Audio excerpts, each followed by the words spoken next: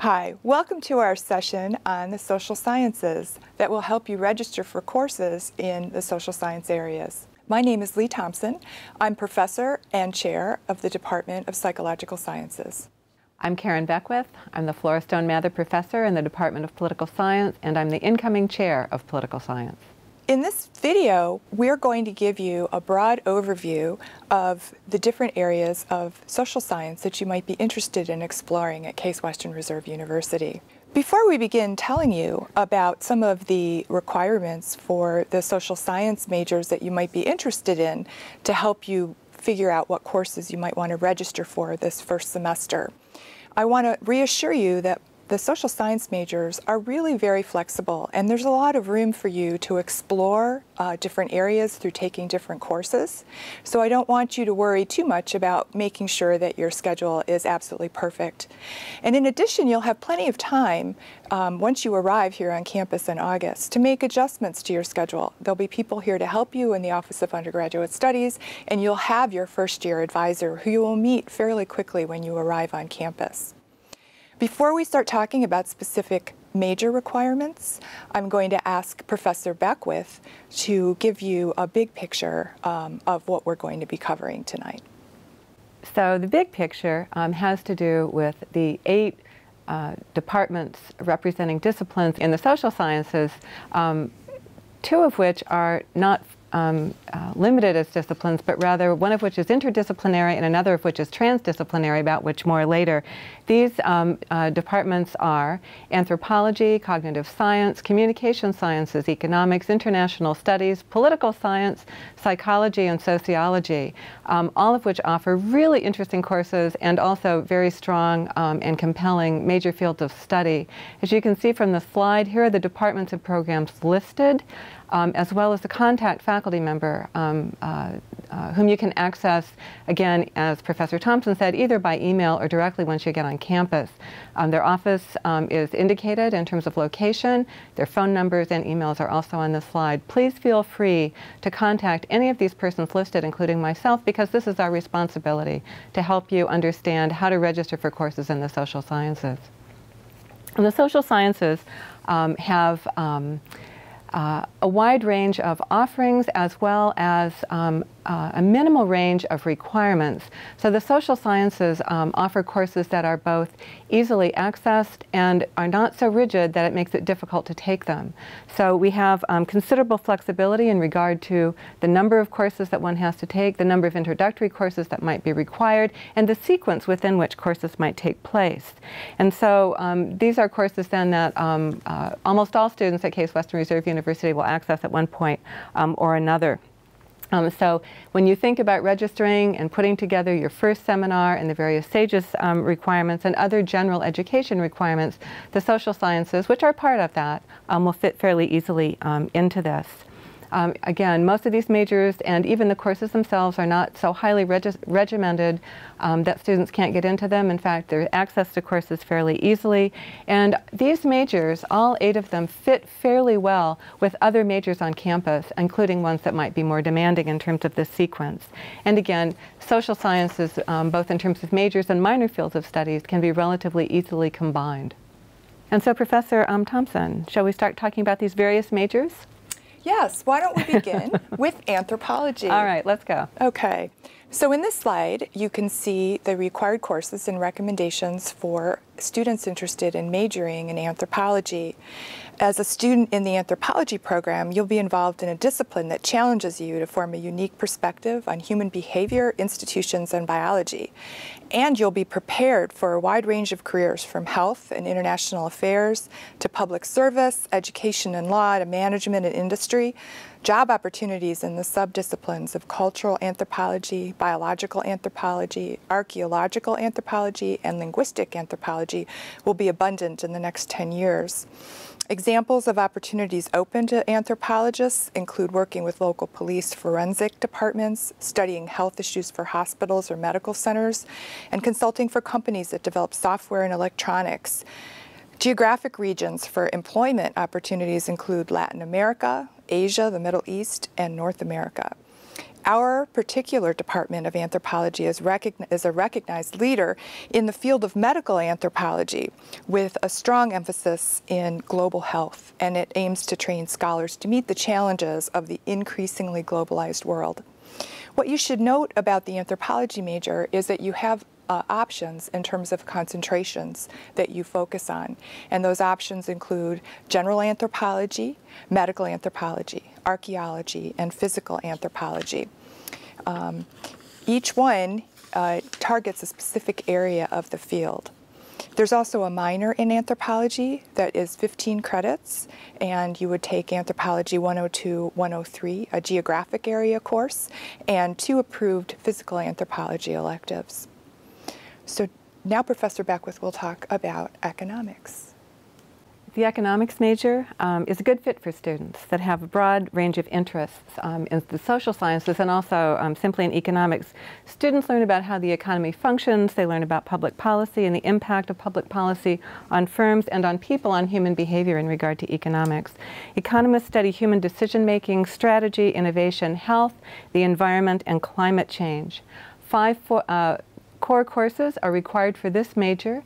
Uh, introduction to microeconomics, introduction to macroeconomics, an intermediate macroeconomic course, and then a choice of um, one of two intermediate microeconomic courses, as well as a course in econometrics.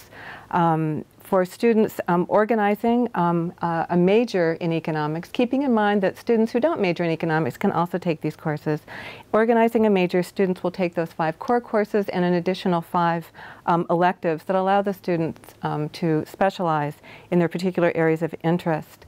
Um, it's a good idea to start with 102 and 103 because they're the prerequisites for almost all additional economics courses. Um, it's also a good idea to move through these courses in sequence. And in this regard, economics is a little more structured than some of the other um, disciplines in the social sciences.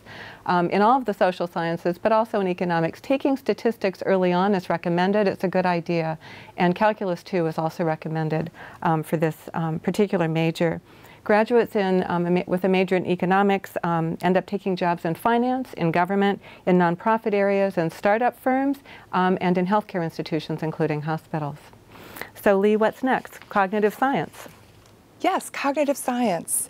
Um, cognitive science is a trans disciplinary study of the human mind. And our Department of Cognitive Science at Case Western Reserve University is truly unique with its focus on human higher order cognition.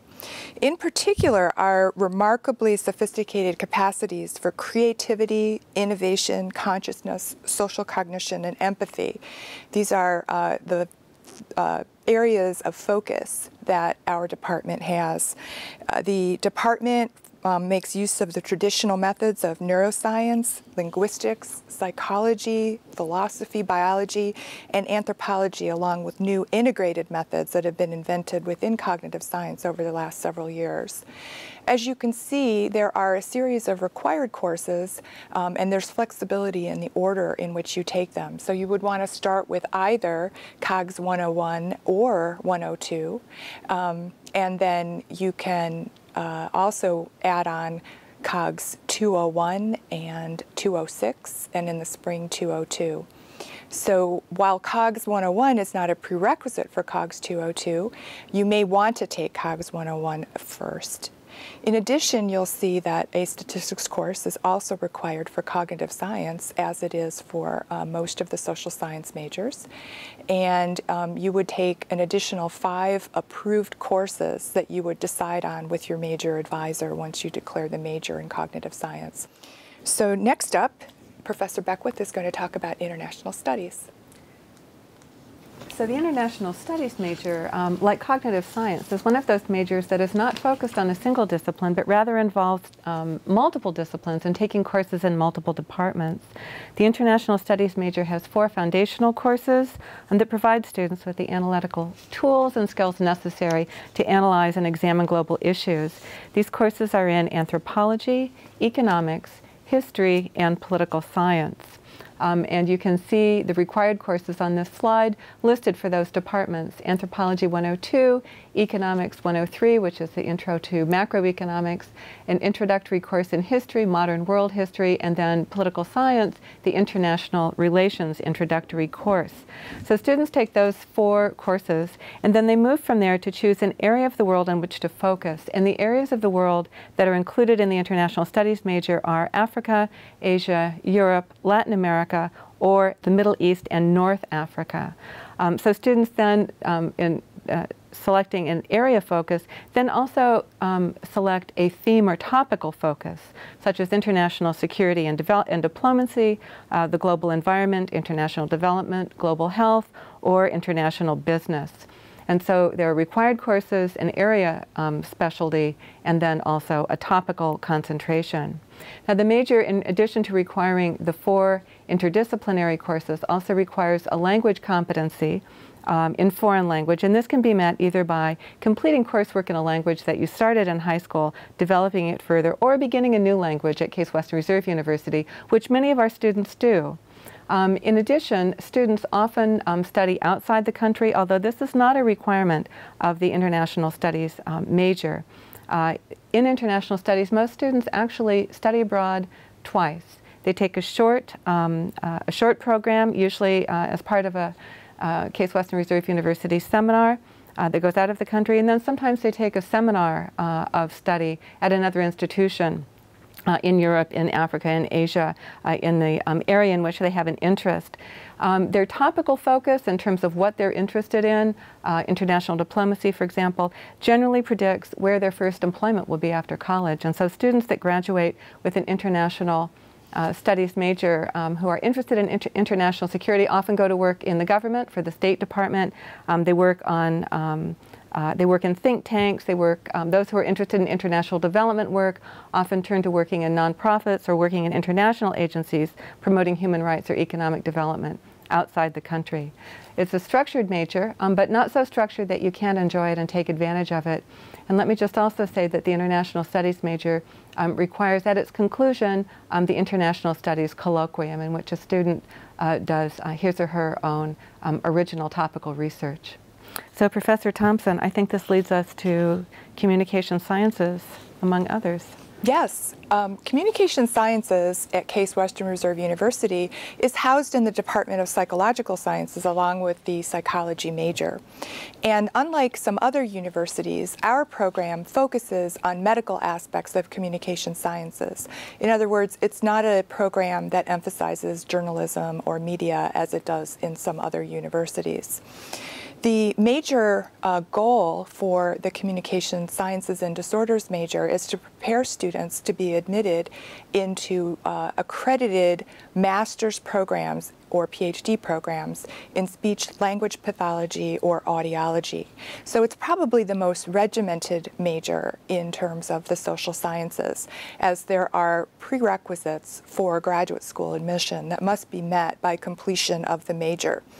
And so um, for those of you who might be interested in going into a health profession, the career of a speech language pathologist or audiologist is very promising in that there's a general uh, shortage at the national level of licensed clinicians in these areas. And students who go through the master's level program for speech language pathology or the PhD for audiology, or the uh, doctorate for audiology, I should say, um, are in high demand and secure um, very well paying jobs uh, immediately after they finish their graduate training at uh, Case Western Reserve University, um, you can see that the major requirements for the Communication Sciences and Disorders uh, program starts with the Intro to Communication Disorders, COSI 109, um, and also an interdisciplinary breadth with Psychology 101 and a statistics class. There's a variety of other communication science courses that don't have prerequisites that you can also take during your first year that give you experience in multicultural communications, in um, sign language, um, and other areas of introductory topics in communication sciences. Um, in addition, you can see that uh, you can use AP credit for some of the requirements, um, in particular psychology or statistics. Another great opportunity that we have at Case Western Reserve University is our integrated graduate studies program. And if you know from fairly early on that you want to go on into a master's program in speech language pathology, you can apply at the end of your junior year to be admitted into our master's program so that you spend your senior year taking graduate courses and then you only need one additional year in order to graduate with both your bachelor's and your master's in communication sciences and you are ready then to become a licensed speech language pathologist. So this is a really great opportunity for students who know right off the bat that that is the field that they want to go into. However, there are many students who major in communication sciences who combine it with other majors because they want to go into other health fields. There's a lot of relevant training in terms of working with individuals that have speech, language, or hearing disorders that's very important for anyone who is going to be working with a wide variety of patient populations. Uh, I think the next major that we want to talk about, Professor Beckwith, is going to talk about political science. So political science is my department. Let me talk a little bit about what political science actually um, is and what political scientists do.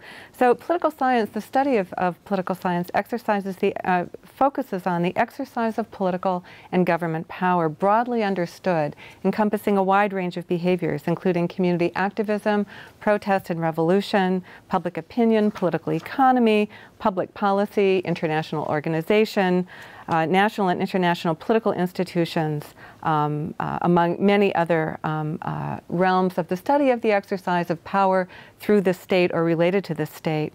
Political science courses in looking at those themes focus on issues of justice, representation, citizen and social equality, state and citizen power, corruption, peace and conflict, and many other issues. So it's an interesting major.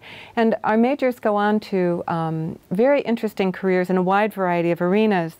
Um, they're prepared for employment in government, law, international organizations, nonprofit organizations, journalism and business, among others, including international um, firms.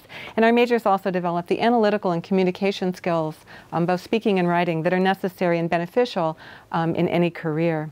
Now, students who major in political science, which is a relatively flexible major, um, take three required courses at the introductory level, uh, Intro to U.S. Politics, Introduction to Comparative Politics, and Introduction to International Relations. And thereafter they choose from a, a, variety of elective courses at the upper division, uh, starting at the 300 level. And so students can move right into those more interesting, more seminar-shaped courses.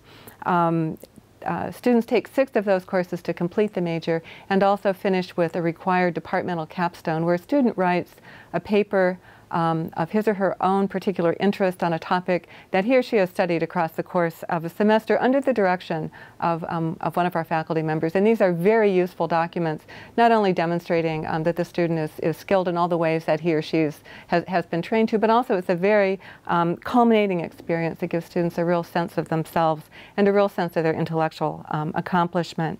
Um, the department has particular strengths, although these are not our only strengths in the areas of finance and political economy, including international political economy, and also in the areas of protest, rebellion, and revolution. So several of us are interested in that kind of political, um, uh, political endeavor. Um, we also offer many opportunities for our students to gain direct experience in politics um, through local, state, and even international internships, um, some of which are funded through a special program available only to political science majors, which is the Wellman Hill Public Service Internship Grants Program. This is a competitive program for political science majors, and we fund as many as five students every summer to do public service in, uh, internships. Uh, and again, it's competitive among our majors. It's been very successful, and we're coming up to our 10th year now, thanks to a very generous donor. We also have students have opportunity for internships through semester and summer courses at the Washington program in Washington, D.C. And so our students often will study there with an associated internship with that work. And then finally, um, this year for the first time, we're going to be offering the opportunity for um, undergraduate funded research with faculty members. So there's a lot that the political science major can do, even though it's not highly structured. We offer a lot of scope um, for students to do work in political science. Um, we have no prerequisites, so courses can be taken in any order, but we do recommend that you start with the intro courses first. We do permit AP credit for Intro to U.S. Politics and for Intro to Comparative Politics, about which more later. Um, and you'll see a list of um, recommended courses with some suggestions, and these will be available to you when you come to campus on the fall. Uh, in the fall. The next um, major that we need to talk about is psychology. So Professor Thompson, back to you.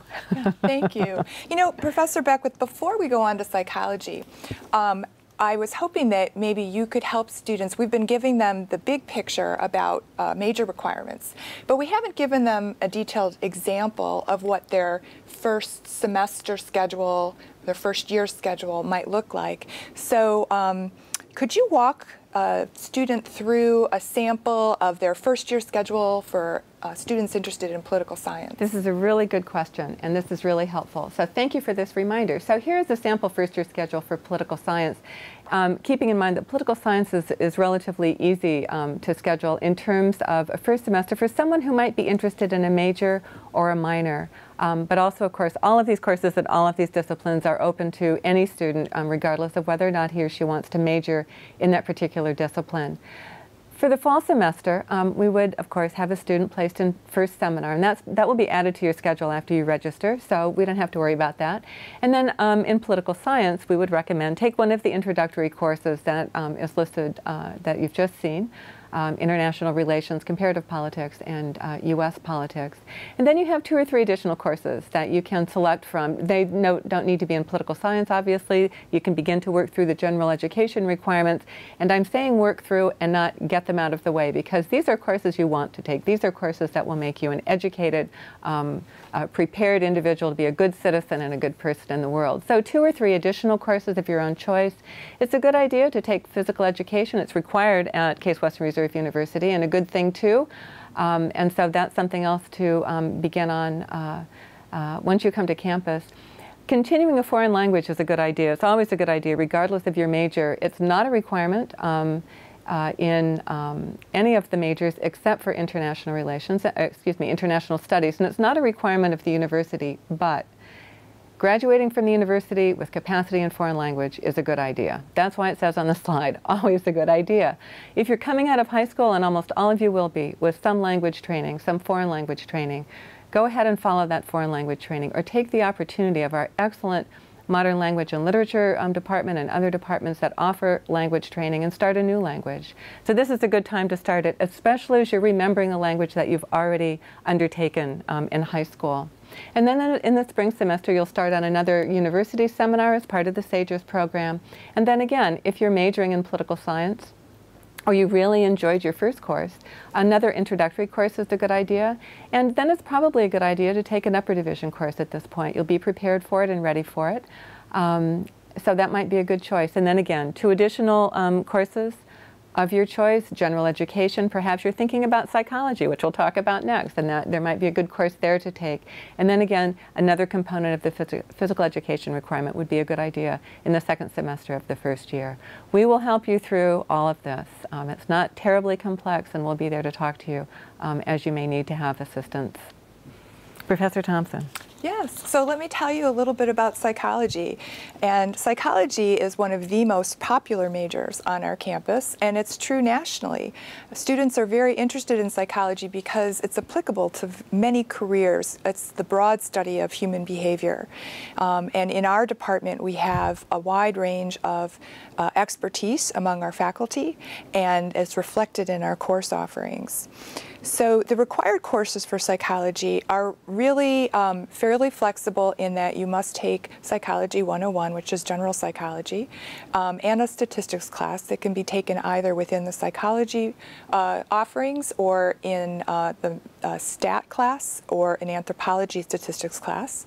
And then you need to take two courses from each of two broad areas. In addition, you'll have four uh, elective psychology courses. Um, Psychology 101 is a prerequisite for almost all other classes. Uh, if you come in with AP credit or transfer credit for Psychology 101, I would recommend that you um, perhaps consider taking Child Psychology, uh, Psychology 230 in its place. And um, just as Professor Beckwith walked you through the uh, to, uh, an example first year schedule for political science students, I'll walk you through a sample first year schedule for psychology. Again, you'll be placed into a first seminar. Um, I would recommend that you take Psychology 101 that first semester and then two to three additional courses of your choice, as well as the physical education. Now, when you go to look at what's offered in the physical education area, don't worry if um, most of them are full because you will have an opportunity to add those into your schedule later on.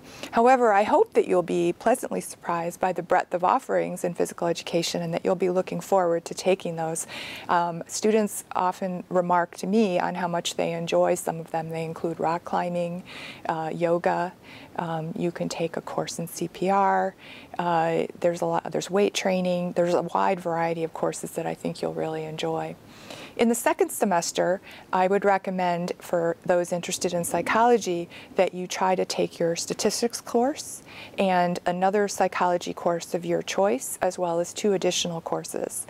Now, one thing to keep in mind is that a lot of students who are interested in a career that requires the pre-medical curriculum um, uh, often have a major in the social sciences. And so where you see on this sample schedule two to three additional courses of your choice, if you are uh, trying to fulfill the pre-med curriculum, that will be where you would put your pre-med courses. So there's plenty of room to take the calculus, the biology, the chemistry that you're going to need in that first year for pre-med as well.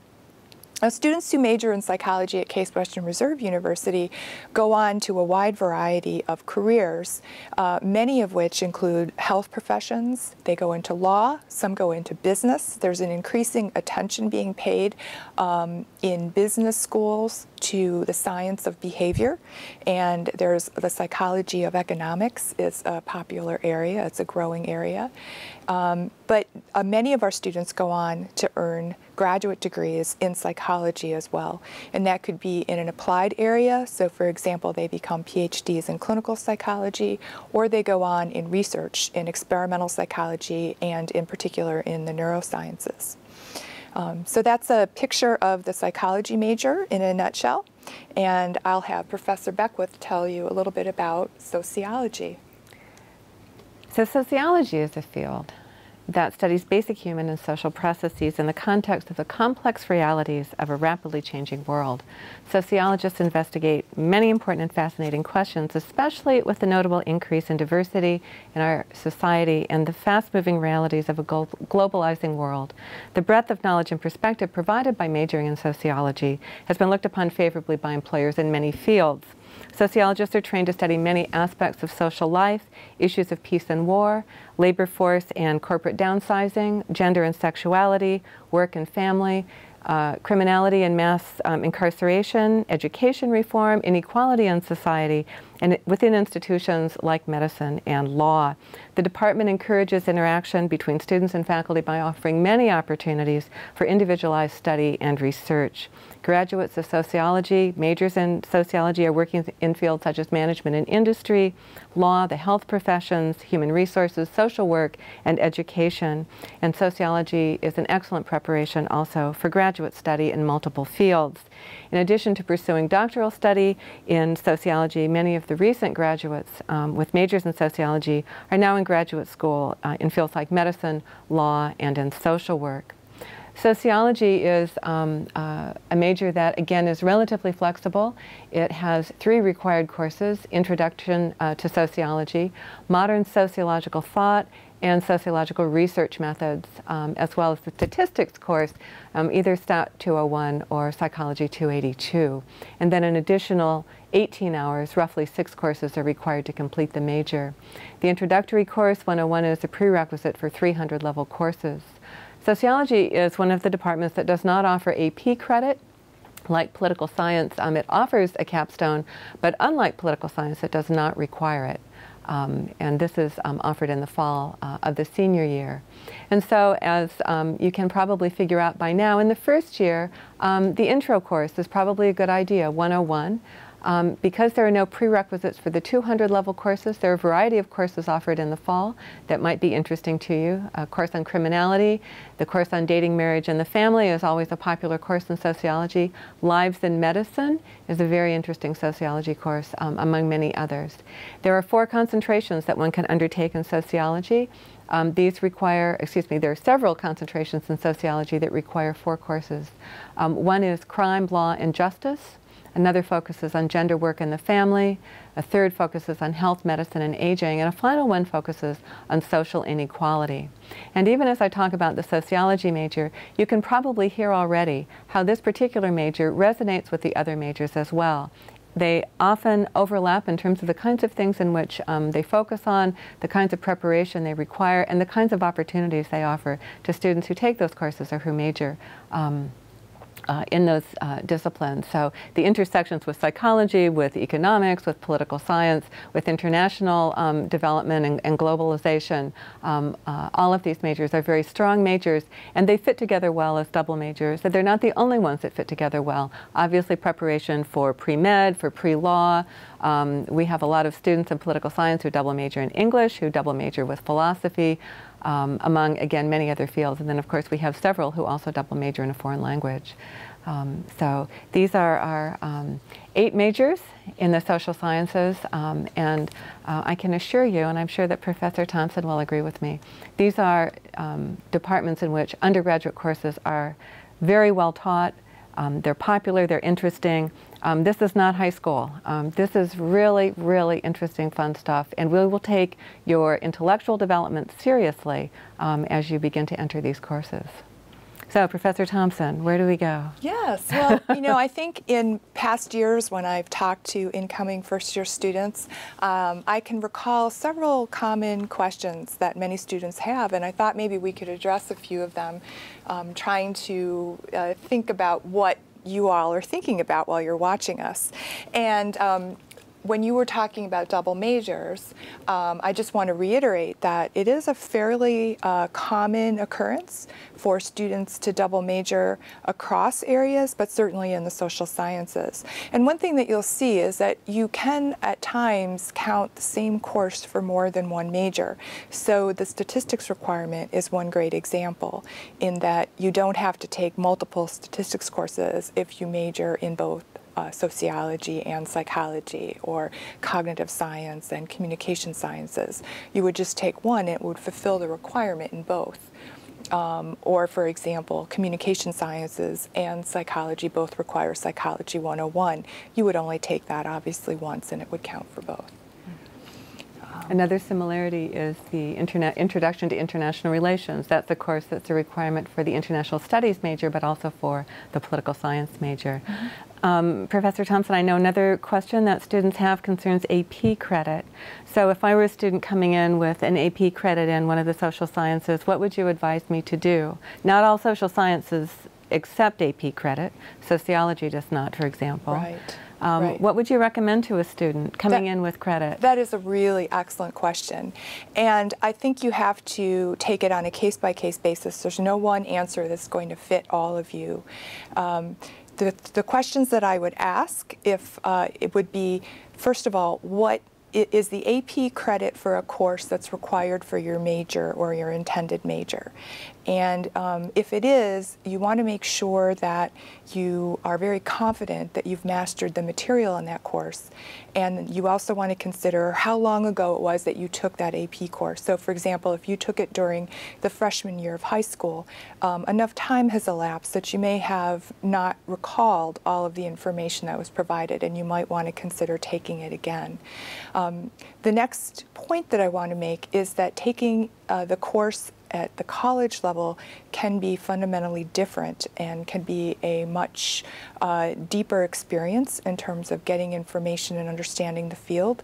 Our faculty are expert, they're nationally recognized expert in the fields, and you're going to get the benefit of cutting edge information that they understand and perhaps are even engaged in directly.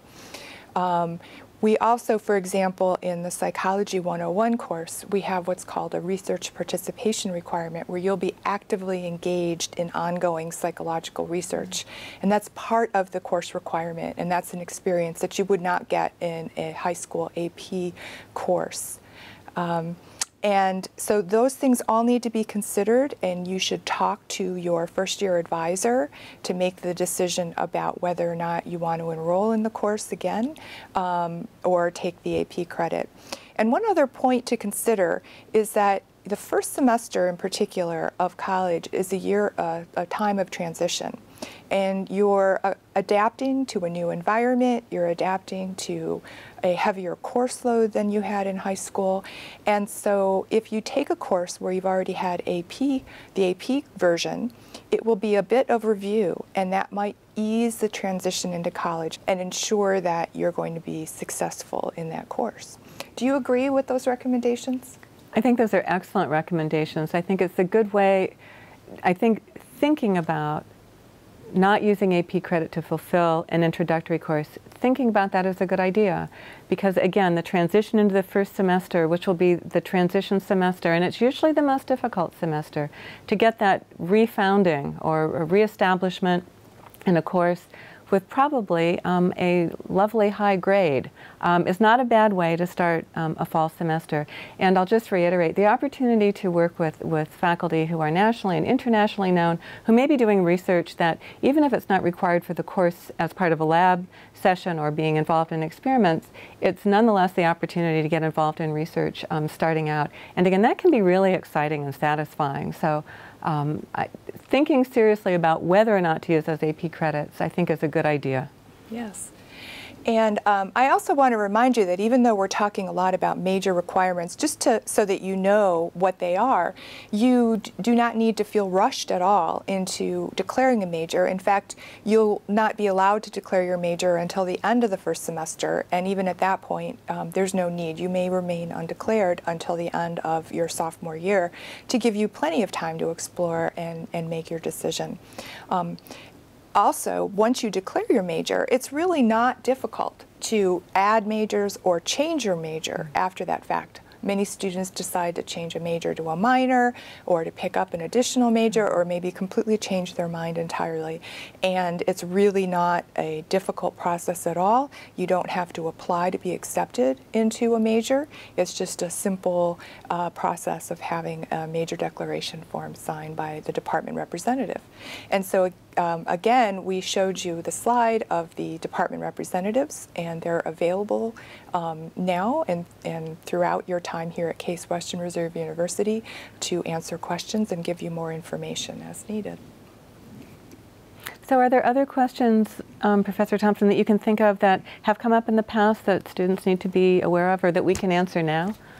Um, I think another common question that uh, we have touched on and may have been addressed in some of the other videos that are available. Uh, we have many students who are interested in uh, going on to professional school um, in that especially in the health professions.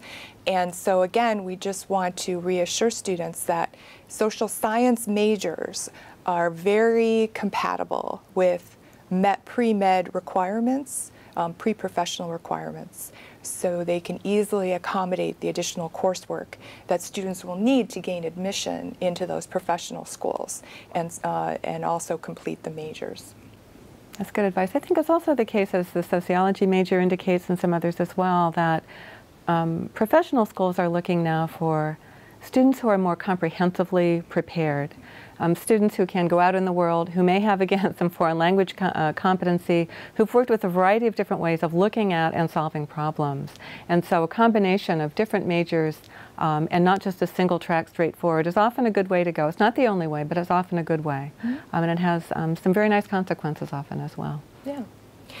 So I hope we've really helped you uh, feel comfortable with the process of registering for the fall semester courses. And just to recap, I once again want to reassure you that you'll have plenty of opportunity to get extra help to uh, adjust your schedule if necessary. Um, but chances are you'll do a great job in pulling together the coursework that you're going to start off in. And um, again, I want to just encourage you to not hesitate to ask questions. Professor Beckwith and I are looking forward to seeing you here on campus in August in person.